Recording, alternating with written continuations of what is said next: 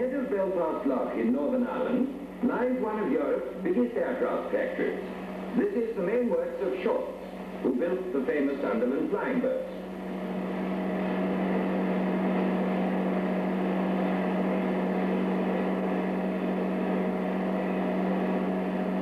It's a unique factory which has a deep water berth for the largest aircraft carriers and a full-scale airfield capable of taking the biggest jet aircraft now in service. Today, the company is continuing its tradition of marine aircraft. Its latest type, a submarine hunter, is going into service with the Royal Navy and Coastal Command. This is the Seamew, a light, strongly built turboprop aeroplane specially designed for the arduous duties of anti-submarine warfare and coastal patrol. But before a new aircraft makes its first test flight, many months or even years are spent in perfecting its design.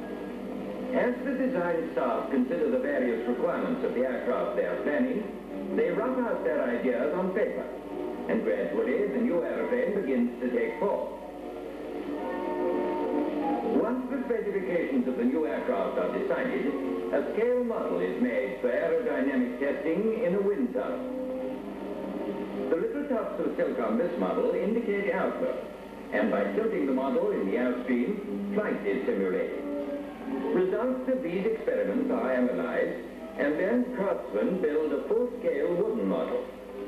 The installation of electrical and hydraulic gear is tested. But much has still to be done before a prototype can be built. In the project office, draftsmen plan the many different parts that go out to make a modern service aircraft. Every component is weighed to assess the final weight. These figures are fed into an adding machine.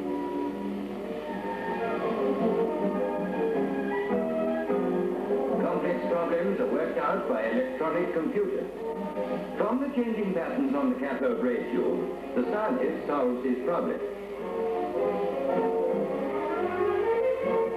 Then the draftsmen draw the aircraft in full size on aluminium sheets. From these plans, the parts are made. These men must have a good knowledge of mathematics. They must be artists, and they must also be familiar with the engineer's production method.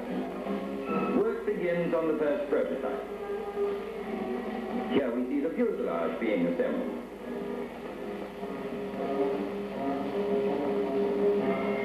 Many massive machines feed production. Here, flat sheets of metal are being hydraulically formed around a mold. One operator the giant machine, which molds the sheets for engine cowlings and other curved components. As the powerful jaws gripping the sheet are gradually forced apart, the metal is wrapped around the mold. When removed from the machine, this sheet will retain its shape and has actually been strengthened.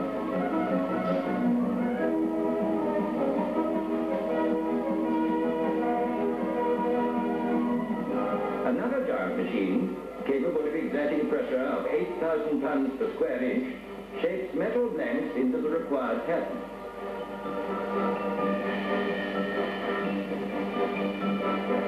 The bed of the press carrying these blanks moves into the machine.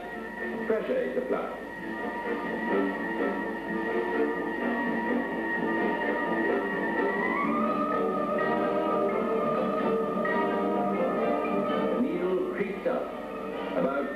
7,000 tons per square inch is now being applied.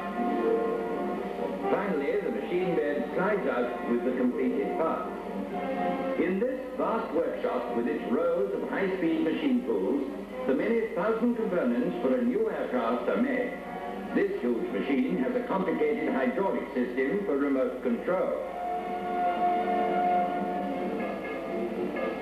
On this machine is a small cutting tool, which gouges out pieces of metal from the surfaces of steel frames.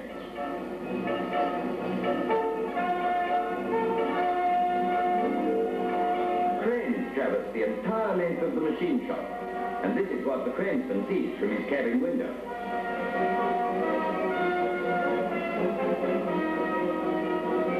These machines give some idea of the drama of the mass production age. Thousands of Stirling bombers and Sunderland flying boats came into being in these works during the war. Today, in addition to aircraft for the defense of this country, huge civil airliners capable of carrying more than 100 people are being built here.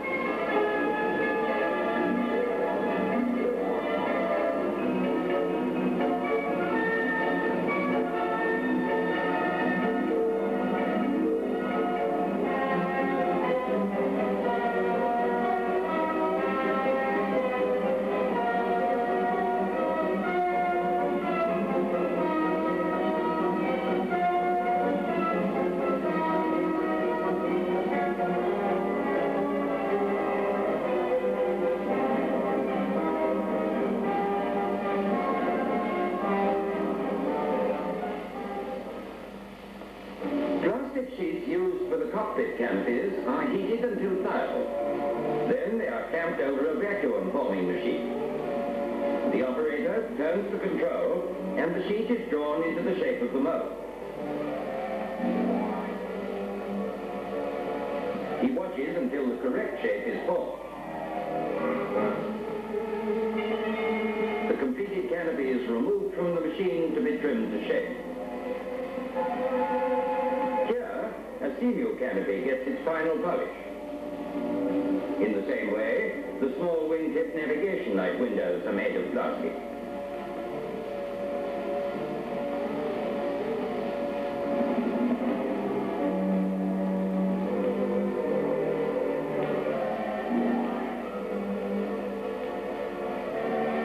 Finally, the aircraft begins to take shape on the production line.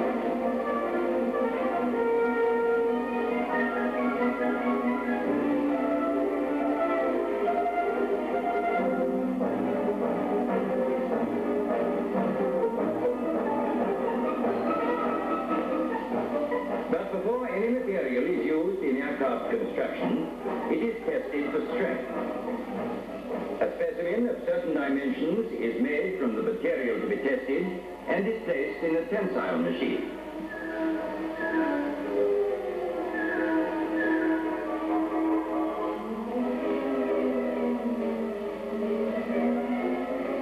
It's stretched until it snaps in two. Are scientifically torn to pieces so that complete data about the strength of the frame and any suggestions of weakness may be discovered.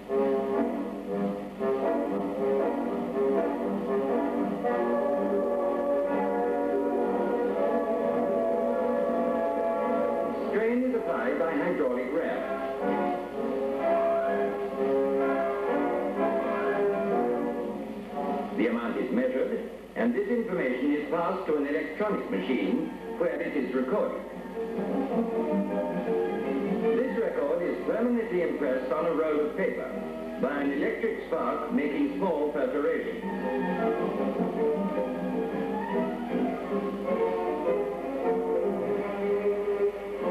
When the results of these and countless other tests have been studied, the aeroplane is ready to fly. The aircraft gets a final check. Special panels give easy access to the engine. A last look at the arrestor hook, important for landing on carriers. The test pilot and his observer are now ready to take the aircraft up.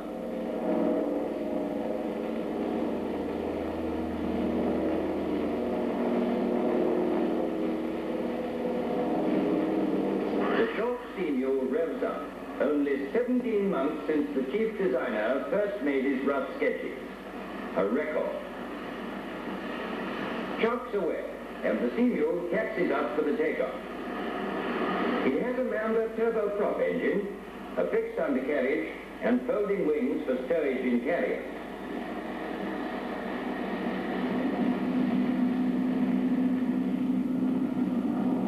Its short takeoff and rapid climb allow it to operate from the smallest carriers or from emergency landing strips.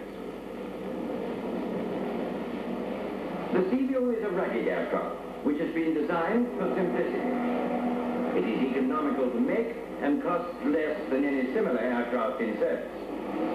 Its ideally suited to anti-submarine warfare or coastal reconnaissance. Very maneuverable, it has a wide range of flying speeds and can turn in a very tight circle round the target. It can carry bombs, torpedoes, or rockets under the wings.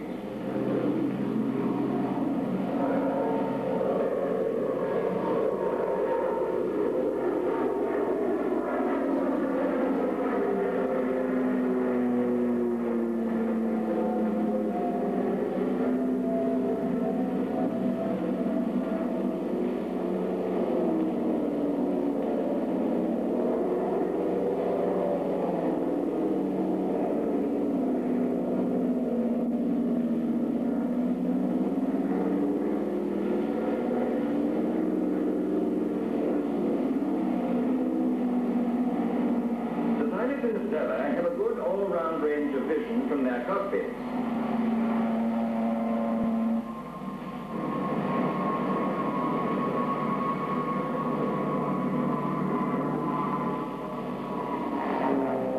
At slow speed, hunting submarines, the Seamew is a formidable opponent. The bulge beneath the fuselage carries radar equipment. As the Seamew comes into land, you can see how the specially designed legs compress on impact. This prevents the aircraft from bouncing, an important precaution for deck landings in rough seas. Now, in full production, the Seamew is going into service.